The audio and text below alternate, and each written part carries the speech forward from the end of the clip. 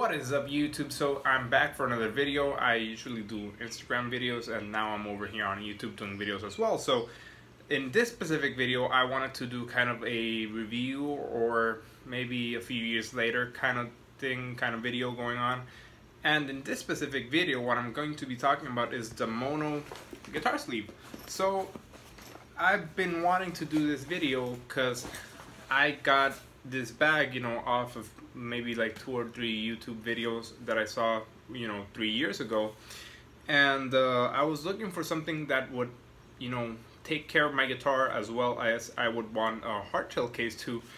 And something that I would not, you know, maybe, you know, get my guitar damaged on. So I got this bag over a few videos that I watched and wanted to do a like a you know two three years later type of thing and it's been almost three years now since I got this specific bag and I also have it in gray which I'll be showing in a bit and I just want to say how great it is and I just want to you know maybe point out a few things which are why I bought this specific gig bag and you know maybe just you know show you what I believe and what I think makes this bag so great. So let's get into a bit of the specs. So it's made kind of of the shark skin technology that they call. It's not actual shark skin, it's just a really, really thick kind of vinyl. I, am not sure, correct me if I'm wrong.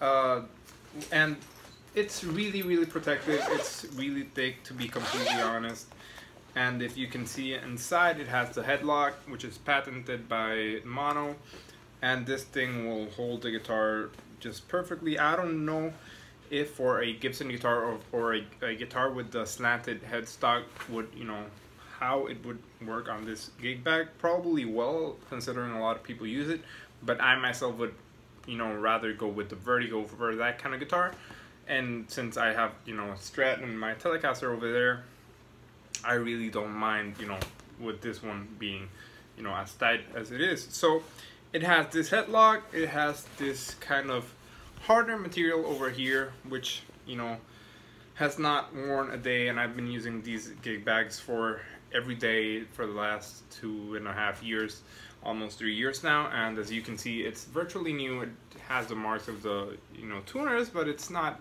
you know, something to be worried or concerned about versus other bags that would just break off, you know, in a few months of use. And it kind of has this really, really soft padding for the for the guitar itself.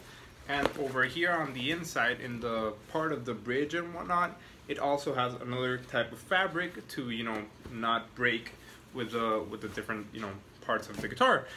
And as for how much things or what it fits, I'm gonna show you a bit of what I have inside it right now. Uh, it really holds pretty much a bunch of stuff. I have a cable in here, a cloth for cleaning up the guitar. I have a tuner inside, uh, some strings. I have some, a huge kind of kit for, you know, cleaning and taking care of my guitar. Not actually cleaning, more like, you know, tuning it up and, you know, setting it up and I also have another strap in there and as you can see you know there's a lot of other stuff that fit in I've taken you know my, my iPad on in here for gigs and whatnot and I've taken a lot of you know different things and really filled it, this up and it really holds fine.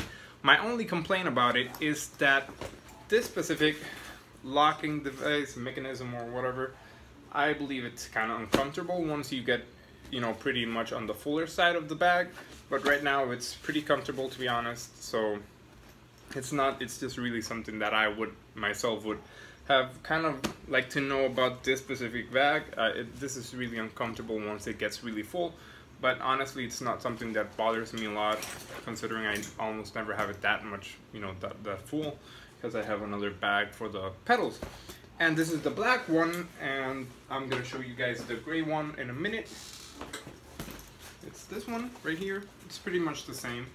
This one's the, the cloth is pretty much a little bit different in it. The fabric is it's just kind of more like, you know, polyester or I don't, I'm not sure. And this one's not as resistant maybe to water like the other one, but it is actually water resistant as well.